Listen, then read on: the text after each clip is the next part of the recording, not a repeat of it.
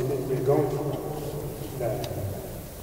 Why might we, why might we learn the lesson and one might hope we will learn because we got far more inf- information in history and archaeology, we got far more powerful social sciences. But there actually are, amidst all the depressing trends, some trends that make me hopeful. And among those trends that make me hopeful are the policies of some of the forces in first world society most hated by the general public, namely big businesses.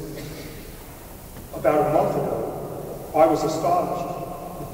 I've dealt with Walmart the last year um, and learned a lot about Walmart.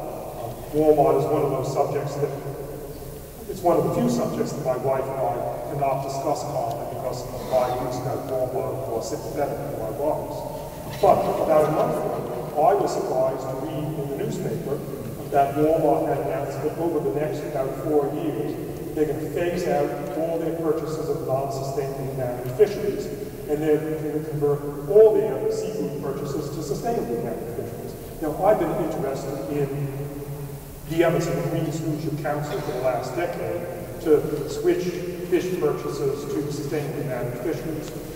And I've been aware of efforts to convince governments to do something about it.